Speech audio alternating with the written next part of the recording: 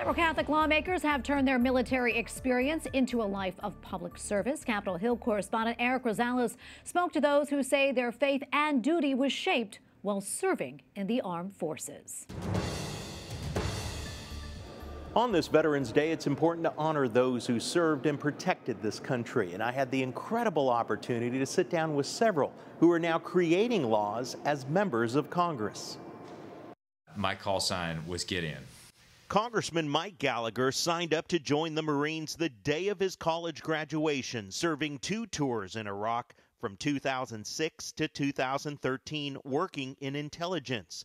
Gallagher found special meaning in the Bible story of Gideon, a judge of Israel and an intelligence officer called by God. Gideon basically uses intelligence and psychological operations, right? He goes into the Midianites camp and the Midianites freak out and they basically kill each other and they, they win this great battle. And so for a Marine, that story is particularly compelling because the Marine Corps warfighting philosophy is all about how you can overcome numerical inferiority if you have better strategy and a quicker tempo of operations.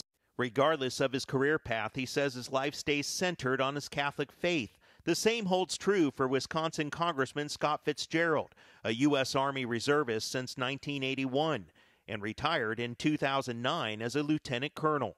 I, I think there's an overlap between public policy and kind of your faith, and, and certainly I think that that carries through on a number of social issues. Life as a public servant is a family tradition, something he learned from his parents who always found time to volunteer at their local parish and help others.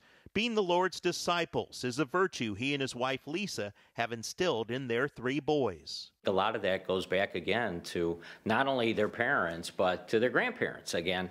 Uh, in it, my wife's side too, a very Catholic family as well, and and um, you know I think all that kind of plays into the the men that they've turned out to be. Both congressmen tell me that this Veterans Day they will take time to honor their fellow service members. Their hope is that Americans will never forget the sacrifices of the men and women in uniform. At the Capitol, Erik Rosales, EWTN News Nightly.